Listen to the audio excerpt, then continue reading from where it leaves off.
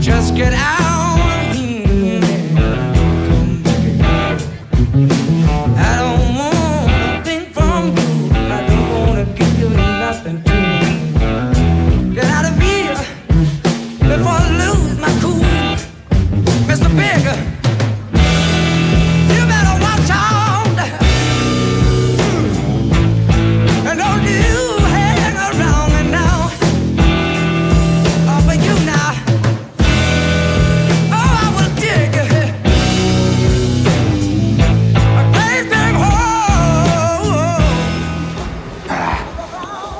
Excuse me, sir? Excuse me, sir. Do you have an appointment? No, Marty, I'm just straying through. Uh, Mr. Mitchell,